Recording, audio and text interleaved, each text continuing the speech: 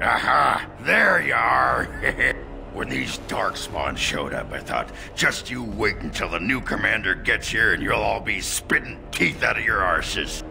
Followed the screaming, and sure enough, here you are. Good on ya! Doubting your eyes, huh? I get like that after the fifth bottle or so. Came here thinking I might try my hand at becoming a bona fide Grey Warden. Eh. He was here when I left. I can't believe the Wardens didn't kick him out. Well, hey, if it isn't the recruit with a great rack. Yes, a prize for the Wardens, to be sure. I know, I know. Too good to be true, right? hey, who's the mage? Boyfriend?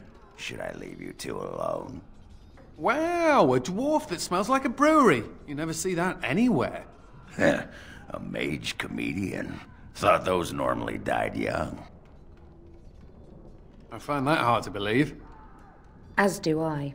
Now, let's go introduce some darkspawn arses to my foot.